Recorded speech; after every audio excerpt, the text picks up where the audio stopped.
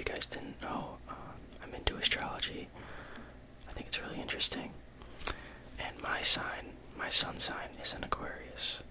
I'm an Aquarius, so leave a comment down below what your sign is. I'm interested to know. So, I have a website with about 50 facts in total. So, this is going to be a little series.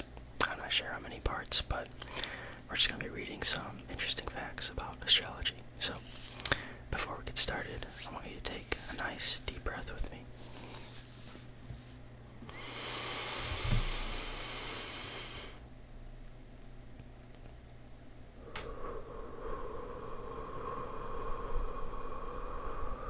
Let go.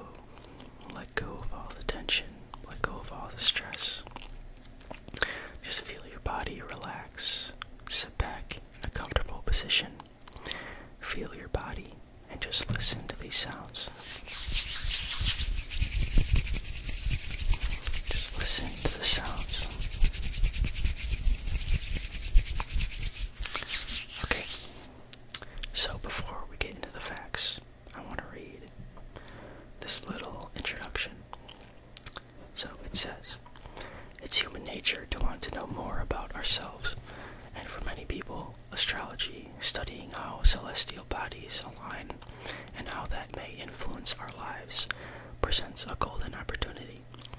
Some go as far to swear by it as divine fact, an invisible hand shaping and molding lives at every turn. Others insist the practice is crock and that keeping up with your weekly horoscope is a total cope out. But no matter where you fall in the spectrum, the far reaching influence is undeniable. Astrology is a multi billion dollar industry. What's more, it's a rich field, and more than just monetarily. In fact, the practice stretches back eons, well over 2,000 years. And even if you consider yourself an astrology buff, there's a good bet you don't know it all. End, we've rounded up 50 crazy facts. Okay, let's get into it. Number one is that two signs rule the presidency.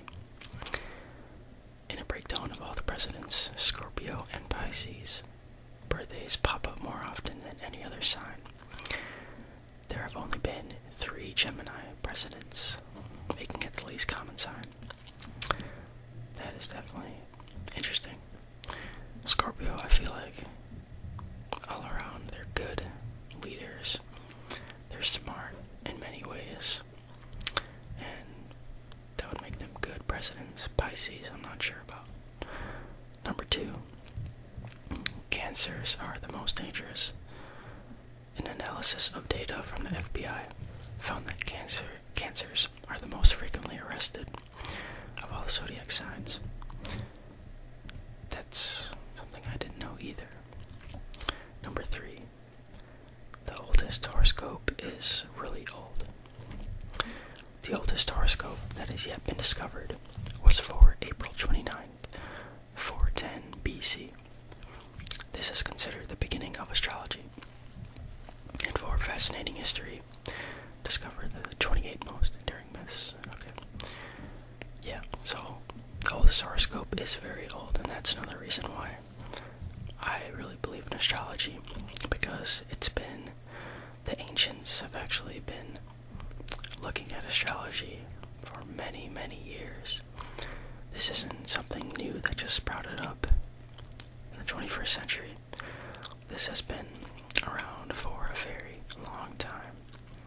It says April 29th, 410 BC, with the pyramids, ancient Egypt and the pyramids, they looked at the planets because they didn't have technology, they didn't have any distractions. They just had themselves and this planet and the planets above and the stars. That's all they had. So if you think about it that way, that makes really a lot of sense why they believed in astrology. Uh, number four, Leos are more likely to hit the gym. So this one I knew. Leo's obviously the fire sign. Aggressive, passionate. A survey of 10,000 UK women found that Leos were twice as likely to go to the gym compared to any other sign. Number 5. Blood type is used in Japan instead of signs. Instead of astrological signs, in Japan, people attribute personality traits to blood type. So it's not uncommon for someone getting to know you to ask you what your blood type is. And for the flip side of this oddity, check out, okay. That's really strange that blood type is used in Japan. I mean, it kind of makes sense because it's your blood, it really makes up who you are. But I wonder why they don't use zodiac signs. It's interesting. I'm sure they know about them, but maybe they just don't choose to follow it. I don't know. Number six, Virgos are discriminated against. In China, one employer posted job listings looking specifically for candidates who specifically weren't Virgos. Scorpios were also not wanted. The women who posted the, the ad said it's because they have a tendency to be feisty and critical. That is kind of true with Virgos. Critical. I see this in myself with my Virgo, with my moon in Virgo. I tend to analyze other people and just criticize them silently sometimes. But it's funny that the employer didn't even want to hire them because they were Virgos. That's interesting. Number seven. Sagittarians are twice as likely to become famous. This one, I see, I definitely see this one. Research conducted by Cartoon Network found that Sagittarius sign people are twice as likely to become famous, with one in five child stars being born during that time of the zodiac. So Taylor Swift right here shows an image of Sagittarius. I'm pretty sure she is. Another one I know is Juice WRLD. Is a Sagittarius, and look how famous he got. Sadly, not alive anymore, but rest in peace. Number eight. Leos are the worst drivers. Australian car share service GoGet parsed through information on 100,000 of its users to determine that Leos are the most likely to get busted for speeding. This also makes sense because Leo is a fire sign. They tend to be more aggressive and passionate, more likely to speed. According to the data, Leos are 40% more likely to get a ticket than Libras. So that's really interesting that there's actually they're actually looking at all this data and it makes sense too. They got information on 100,000 of their users. That's crazy. Number 9. Capricorns have wandering eyes. Of all the astrological signs, Capricorns have the most accounts on Made for Adultery website, Ashley Madison. They also reach out to more people. And if you want to see, okay, why it says all these things after. Just recommending me more, more websites. But Capricorns have wandering eyes, which means they tend to check other people out a lot. Not sure why that is, but I guess it is what it is. And they have the most accounts on these adultery websites. That's interesting too. Number 10. Aries make up the bulk of billionaires.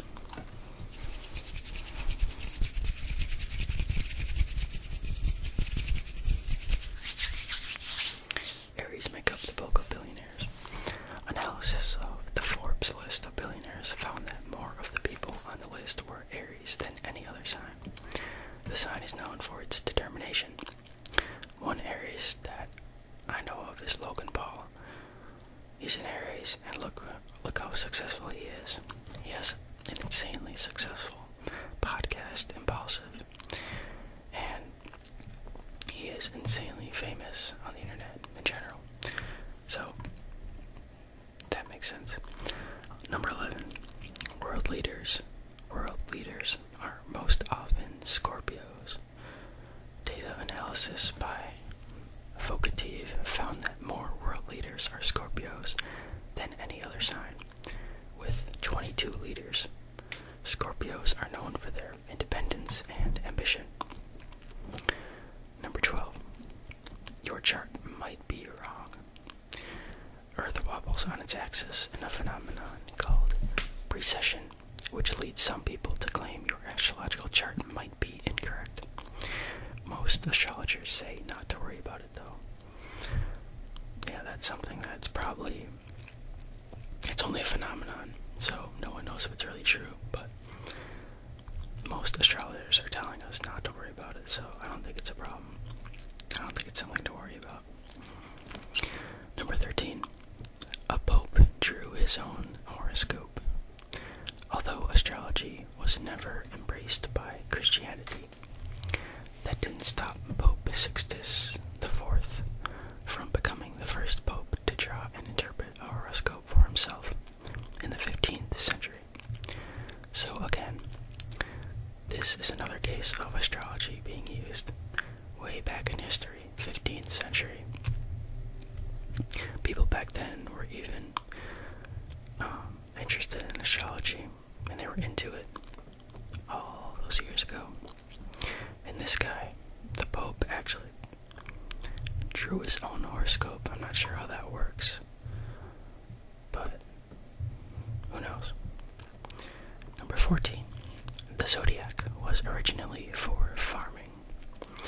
The zodiac was originally used as an agricultural calendar to help people track when to sow seeds and harvest crops by using the position of the constellations in the sky.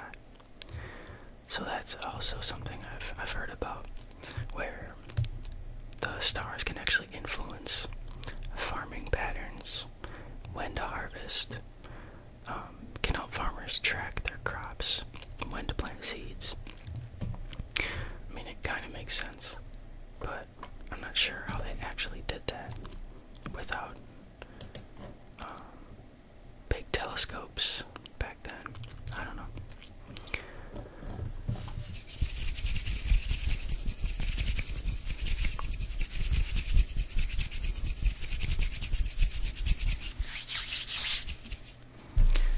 Number 15. This one is crazy. An astrologer predicted Hitler. A German astrologer named Frau Elsbeth Ebertin was given Hitler's astrological chart in 1924, and she predicted his rise to power. That's actually insane that the rise of Hitler was predicted from astrology. this was in 1924 when this woman had no idea what Hitler would become. She actually was able to predict his rise to power. That's really cool. Number 16. I think we're going to end it on this one. Top athletes are frequently Aquarians. And here it shows a picture of Michael Jordan, who I share a birthday with, actually. Me and Michael Jordan both have the same birthday, which is really cool. So, it says an analysis of top athletes found that they had Aquarius as either their sun or moon sign 21% of the time. The next most frequently appearing sign was Cancer at 12%. So that is interesting. I mean, me personally, I used to play baseball and football. I was always good at it, but I never continued with it. And I currently play golf, so I guess I'm an athlete, not a professional athlete. So, um, that is 16 facts, guys, about astrology. 16 out of the 50 that I will be doing in this series. Uh, if you guys enjoyed, drop a like, subscribe, leave a comment. I appreciate you guys. Have a great day, and I will see you in the next.